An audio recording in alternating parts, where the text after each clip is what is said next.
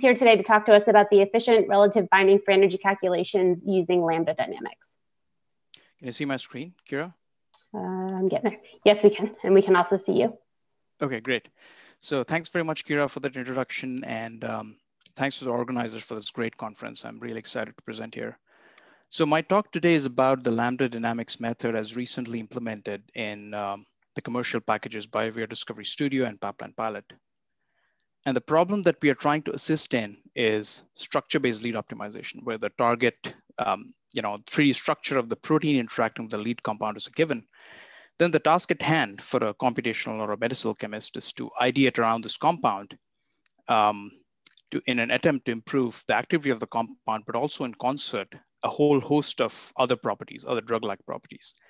And in this exercise, it is very useful to have uh, an accurate and efficient tool to predict uh, activities because the experimental synthesis and assaying of uh, design ideas is extremely um, you know, expensive and time consuming. And since the activity of the compound is uh, closely related to its biophysical binding affinity, we can apply physics-based methods to, to calculate that. And especially in the context of structure-based lead optimization, not only um, is the binding site known, but since you're making small tweaks to the lead compound, in a vast majority of cases, the overall binding mode does not change. So we can take advantage of this fact and apply relative free energy methods to address this problem. So one problem with, you know, we in the previous talk, we talked about the um, computing costs of the absolute free energy methods, but even relative free energy methods, explicit solvent relative free energy methods are uh, time consuming. And so typically what you see in projects is the application of uh, docking scoring or MMGBSA type methods in earlier stages to go through a large number of compounds, narrow them down to a small set, which are amenable to these relative uh, free energy calculations. And especially we have seen the application of uh, relative FEP by a large number of groups in the past five years. And um, you know, we've seen that if these calculations are using an accurate enough force field and are set up carefully, can be quite uh, accurate. But at a computing cost of about you know one to two compounds per GPU per day, it still is uh, you know limiting the application to a small slice of chemical space. So I believe there's a strong need for methods to fill this middle range in this funnel to provide accurate screening like FEP does, but with a higher degree of efficiency. And so that's what my focus is going to be here with the Lambda Dynamics method, which um, is physically rigorous like FEP because it's based on the tenets of statistical mechanics, but can allow for you know incorporation of large combinatorial libraries in a single calculation. And that's how it, it gains efficiency. So the method itself uh, was first uh, um, you know, ideated by Charlie Brooks in back in 1996, a long time ago. But since then, the method has gone, you know, significant improvements. And I think it is at a stage right now, which is, um, you know, allows it to apply this method in industrial projects. So let's look at, um, you know, compare and contrast it with FEP to, uh, let, me, let me use that mechanism to explain how this works. So in FEP, we implement a chemical um, modification between two ligands by simulating a series of lambda windows. And we calculate the free energy difference in each lambda window by using, for example, the thermodynamic perturbation formula or BAR. And we sum all of those windows to get the free energy difference. In lambda dynamics, we don't have um, distinct lambda windows. Lambda is a continuous variable, which is coupled to the system dynamics via an extended Lagrangian. And this way it is propagated like um, the coordinates of uh, you know, the atoms in the system. So it, uh, the system follows the intrinsic free energy landscape of this alchemical transformation. And what you do is at the end of the simulation, you calculate the probabilities of the end states and the ratio of those probabilities gives you the free energy difference. So you're calculating the same quantity that you do in FEP, but through a different route. And what this design enables is to not merely have just a couple of ligands in a calculation, but you can have multiple ligands. So for example, this is a time series of the lambda as a function of um, simulation time. And in this simulation, there are four different uh, ligands. Each ligand has its own lambda value fluctuating between zero and one. And we have constraints in place that ensure that the system, um, so that the lambda values are always between zero and one, and the system remains physical because, um, because of this uh, constraint uh, where the sum of all the lambda values is, is one. So at any given, given point of time, you can have only one ligand that is fully interacting with the protein. So um, what you have in a sense here is a competitive binding assay where the ligands are competing with each other to, to bind to the protein. And uh, what makes it even more useful here is that if you implement that competition, not at just one site in the ligand, but at multiple sites. So um, this way we are able to model combinatorial libraries where we are able to screen simultaneously different modifications to a ligand at different sites. And this is what we call multi-site lambda dynamics. And so here's a you know, typical example that shows you the scalability that this approach affords you. So we have a core uh, molecule you can think of as a lead compound, and you want to modify this at three different positions. And um, let's say we want to screen five different modifications at each site. And these can be the same or it can be different for each site. And it can be you know, more complicated than what I've shown here. Here I'm showing you um, R group um, that is replacing a hydrogen atom with one of these groups. But it can be, for example, sampling different kinds of aromatic rings here and here. But in any case, if we sample five different modifications at each site, that leads to 125 different combinatorial ligands. And if you want to tackle this problem using FEP, you'll have to create a relative FEP map like this, which should have um, at least 124 different delta delta G calculations in a minimal setting. But um, if you include cycle closures, that would be about 180 different calculations.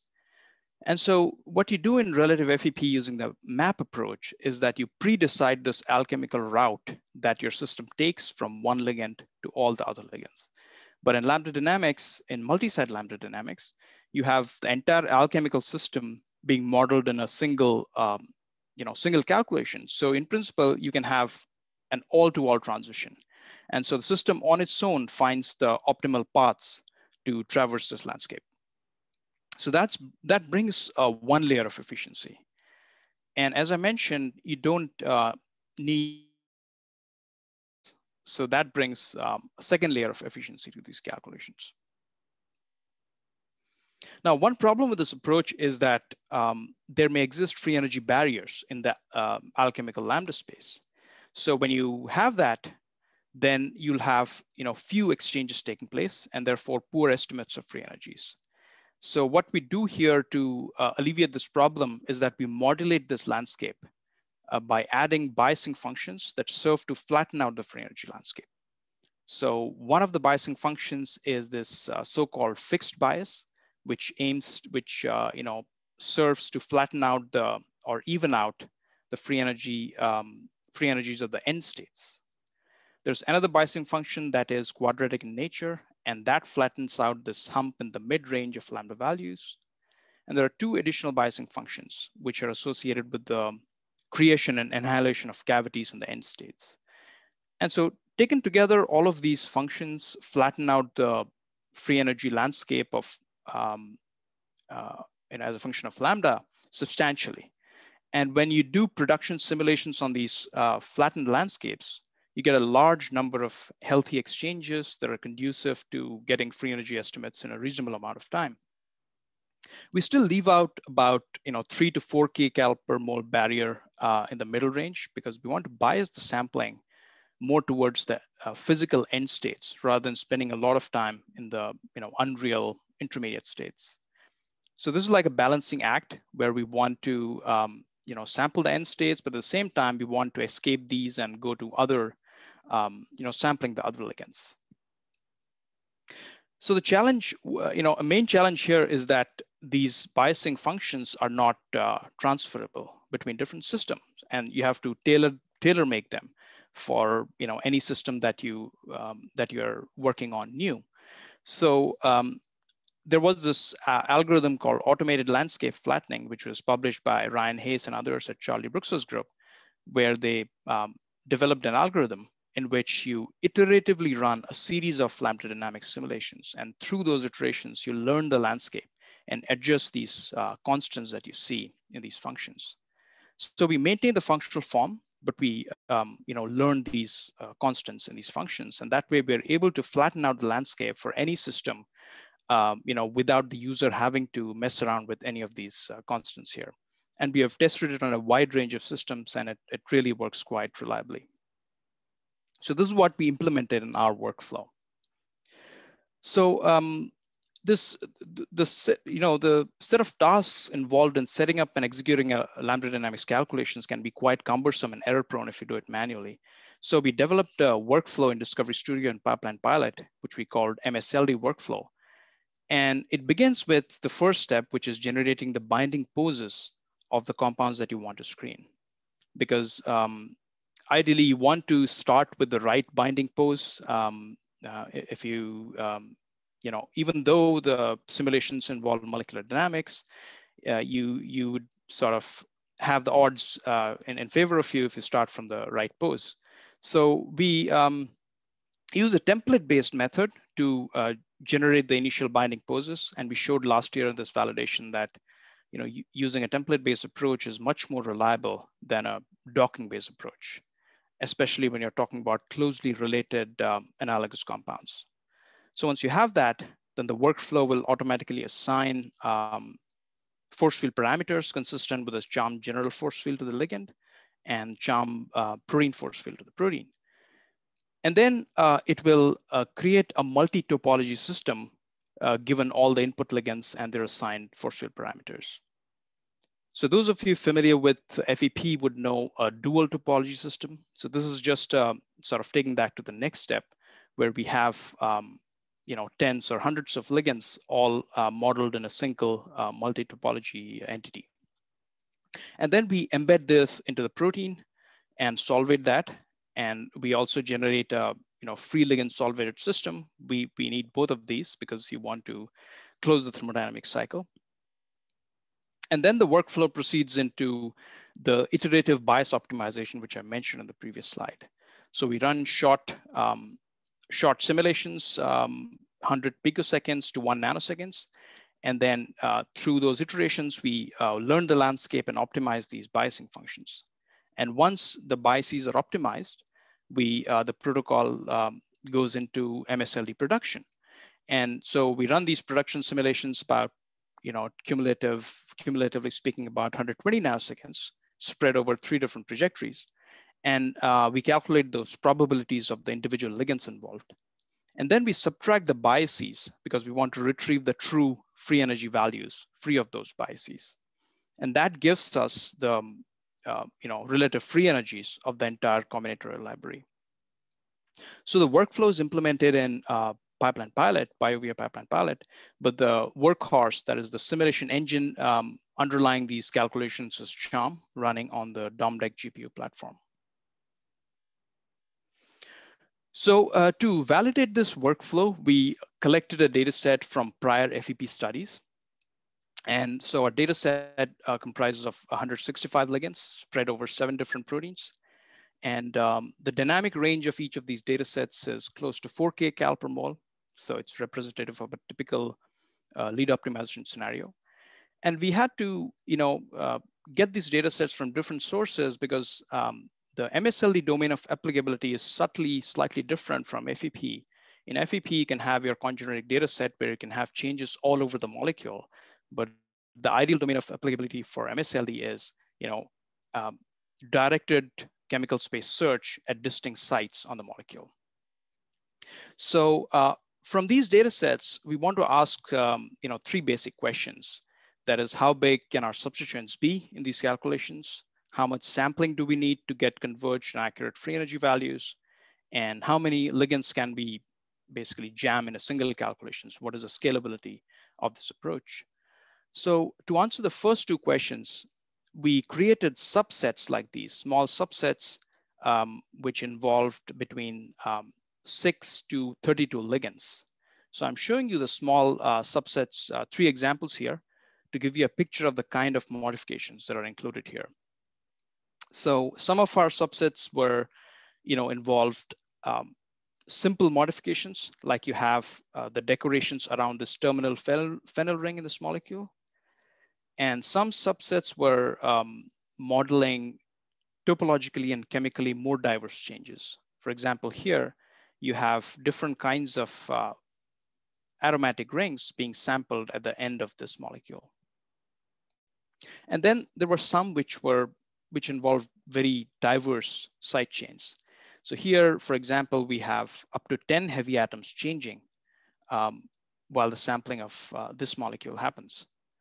So overall, we had 25 different subsets and four to six heavy atom differences were fairly common in these, uh, in these systems. And across the board, we see that using 150 nanoseconds of cumulative sampling time, which includes 30 nanoseconds for bias optimization and 120 nanoseconds divided between three trajectories um, to be sufficient to obtain um, accurate results. So here I'm showing you um, a snap, a sort of composite view of the results divided between the seven different proteins. And on the bottom right, you have the average unsigned errors, and all of them are you know, well under 1 kcal per mole. And the average precision that we see from these calculations, and uh, the precision, uh, precisions are calculated by you know, averaging three independent trajectories, is um, 0.5 kcal per mole. And so we see that about 70% of our predictions are under 1 kcal per mole error, and about 90% under 1.5 kcal per mole. So at least in this retrospective data set, we see that these predictions are accurate and precise enough to be used for um, prioritizing compounds for synthesis. Uh, we have a lot more metrics reported in this preprint that went live uh, more than a month ago, and it's now accepted in JCTC. So you can find all the raw data and other metrics. Um, it's all out there if you want to take a look at it. So those predictions were um, obtained by you know, dividing those data sets into subsets, small subsets, which I call small scale screening. And the size of those subsets were between six to 32 um, ligands. But do we maintain the accuracy and precision when we're doing a large scale screening? So we collected five such systems. And uh, to be honest, this was not easy to find this sort of data set which has uh, you know, dense experimental data for all combinations. Uh, but I'm showing you a representative data set here. So um, this is a ligand from the P38 MAP kinase protein, and you have three different sites of modification. On the site one, there are you know fairly modest changes with uh, just the location of this, um, this fluorine on this phenyl ring.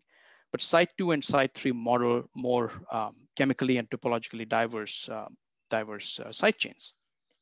So with our default 150 nanoseconds of sampling, we are able to, um, you know, sorry, we're able to estimate the free energies of the entire combinatorial library, 125 ligands. I think we missed three ligands, but we almost sample, um, so we almost sample all of them.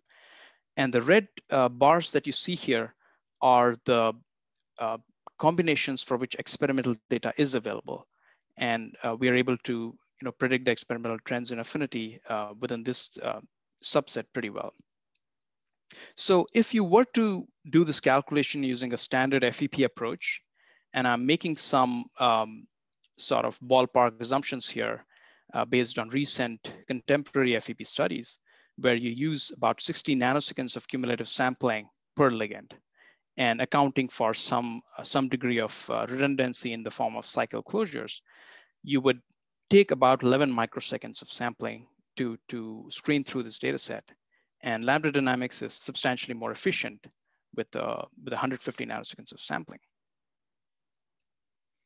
So uh, let me summarize the main points here. Um, so we developed an automated workflow, an end-to-end -end workflow, which begins with uh, generating the binding poses of the, of the ligands all the way to running the calculations and obtaining the binding free energies. The approach um, is, seems to be substantially more efficient if we compare to the amount of sampling that is undertaken in, um, you know, contemporary FEP studies. We used uh, about five-fold less sampling when we were calculating systems that involved a single site. But if you look at um, combinatorial libraries involving two or three sites, this efficiency gain um, ranges from 10 to 75 fold.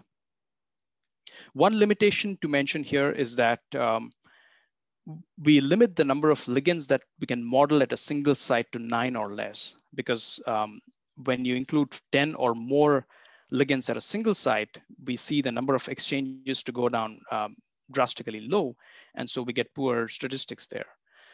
But so if you want to, um, um, you know, a common use case in the industry is to screen through, let's say 50 modifications at a single site. So if you want to do a screening like that, the way to go would be to divide those 50 ligands into small MSLD systems. And there are automated ways to do this uh, in a very straightforward way. And I must also mention that uh, we redid some of these calculations using um, lesser amount of sampling. And we see that for the small scale screening, that is ligands involving six to 32 ligands, if you half the production sampling from 120 nanosecond to 60 nanoseconds, we don't notice a significant drop in accuracy. So the numbers that you're seeing here is uh, probably a conservative estimate. For single site screening, it is likely um, going to be uh, a tenfold gain in efficiency compared to um, standard FEP. So given all this, we uh, it is our hope that this approach can begin to fill this gap in the middle range of this funnel by you know, allowing access to accurate screening to a larger slice of the chemical space um, because of the efficiency afforded by MSLD. So uh, let me close here by thanking our collaborators. We collaborated closely with Charlie Brooks's group, Ryan and TJ.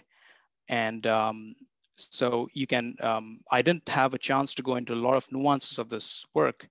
And I encourage you to take a look at the preprint uh, ChemRxiv paper, which should be hopefully in JCTC um, in, in a couple of weeks. Um, I also want to thank former group members of Charlie Brooks's group who also advised us during the development of this tool uh, and the science. And um, also thank the R&D team at BioVia and the product team who also helps helped us uh, advise um, during the development of this uh, product. So thank you for your attention and I can take questions. Thanks, Prabhu. Uh, it's a great talk. Uh, so I'm going to start with uh, one question from our panelists because I know it'll be a quick answer just because I know I already know the answer. But um, from Hannah, she asked, what happens to the samples at the intermediate lambda values? Do they contribute to the free energy estimates, estimates or is it only the end states? Uh, it's only the end states, yeah. We don't, um, we basically demarcate the end states as uh, the lambda values um, over 0.99, and we don't use the intermediate states. Okay. Uh, from Rohit Arora, can you please expand on how the FEP map is replaced by a single path in lambda dynamics? Right. So, um, you know, in the FEP approach, you need a map because you uh, each calculation involves two ligands. And what you do is then you plan a large number of these calculations and you stitch them together to um, walk the graph, you know, to go from your lead compound for which the affinity is known to all the other ligands in your data set. But in, in lambda dynamics, uh, what you have in a sense is a maximally connected graph. That is, you have, since the, all the ligands are included in a single calculation, you don't need to, you know, work with uh, pairwise calculations. And so that's how it's all collapsed in a, in a, in a single uh, calculation. I hope that okay. answers this. Okay. Up next is from uh, Aniket Magarkar. Uh, can this method be applied to ligands with different formal charges? No, we have not. Um, so um, we haven't tried it yet. So our data set, uh, we purposely chose molecules which were, you know, um, have the same charge state. But um, in, in FEP, you apply endpoint corrections to account for the you know finite size effects and, and, and the chart changes. So I don't see why we cannot do it in MSLD. It's just that we haven't included that in our, um, so far we, eh, the tool doesn't support it, but it can be done. Okay. Uh, from John Chodera, fantastic work. Recently, the, the Brooks lab noted that lambda dynamics could introduce significant bias in predicting binding free energies dependent on the lambda threshold. Have you been able to identify ways to eliminate that bias? So, um, so there was a time where uh, in the Brooks lab, they were using lambda cutoffs of 0.8 and uh, 0.9. And I think now it's, um, now the cutoff that we're using is 0.99, which is really close to one. And uh, that combined with the fact that you have, um, you know, we're using this automated landscape flattening where there's a great degree of, uh, you know, flattening happening in the landscape. So between 0.99 and one, um, it seems like there won't be, you know, a huge amount of curvature in the free energy landscape present to um, amount to, to sort of add to that bias. And plus we have done some, um, you know, benchmarking studies against FEP and the results that we get uh, with lambda dynamics and FEP, both for hydration free energies and binding free energies are, they match very close with an error. So I don't believe there is a huge amount of bias coming from that factor. Okay. All right, another one from our one of our panelists, um, our speaker earlier today, Heather Carlson. The other, sorry, the error in the relative energies look good, but the relative rankings look a little problematic. Did you calculate the Spearman's rho or Spearman's rhos? Yeah, was, we calculated, I think, Kendall tau, and that is reported in the paper. Uh, I don't remember offhand, but um, yeah, it, it's all there in the paper. Okay. Uh, from Niels Hansen, did you see issues with the slow diffusion between end states on the flattened energy landscape? slow diffusion between end states. Um, actually, we haven't uh, looked at residence times. So I don't think I can answer that just as yet. Okay. Uh, from Solmaz Azimi, how do you evaluate the convergence in large scale screenings? Right. So um, we run three replicates, basically. We run three trajectories and we calculate a simple standard deviation from the free energies that, that come out of that. And so, you know, your convergence would be reflected in the error bars that, that we report. And as I said, the, you know, the precision is about 0.5 kcal per mole. And so I think that's, um, yeah, so, so that's how basically we, we evaluate convergence. Okay. Um, you have a few more left uh, from Miroslav um, Thank you for a very interesting talk. Do you have any data on how MSLD correlates against regular FEP when the same force field is used?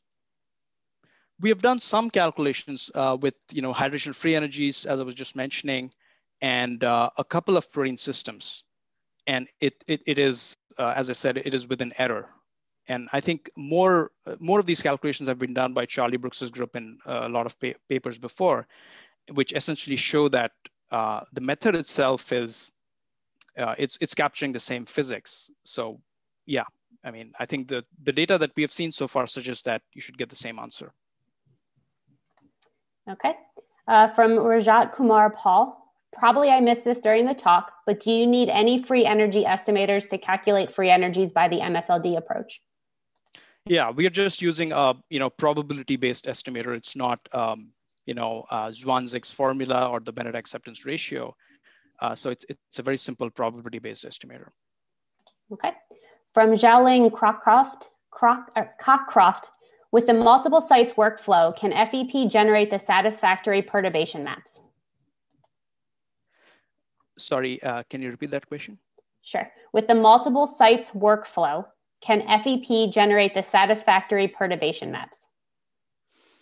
Um, so I didn't basically cover FEP in, in this talk. I was just trying to use that as a, you know, uh, a reference to explain the differences.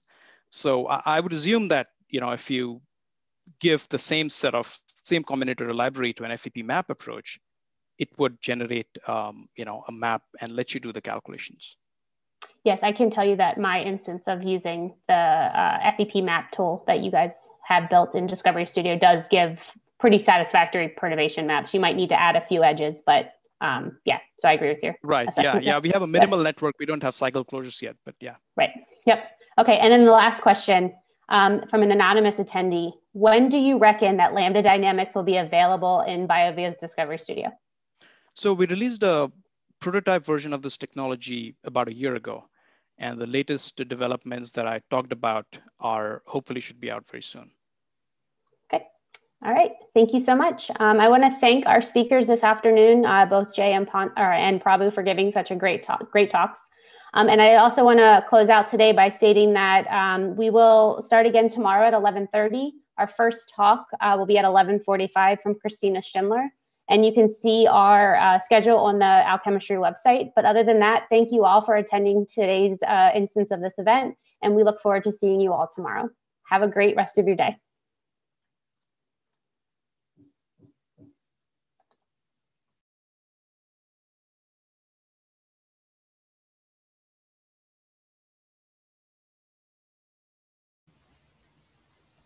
And probably you have another comment from John in the Q&A.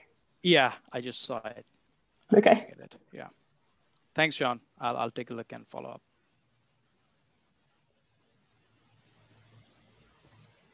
Yeah, they're great talks today. Thank you, everyone. It was really, really good. Thanks, Hannah.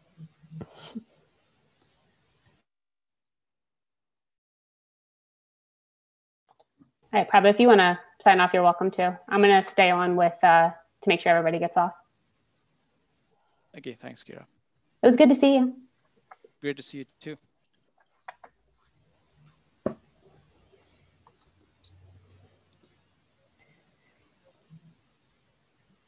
Uh, I think there's a risk that I will be slightly late tomorrow. But the first talk, uh, yeah, the first talk isn't being recorded. Oh, I'll stop.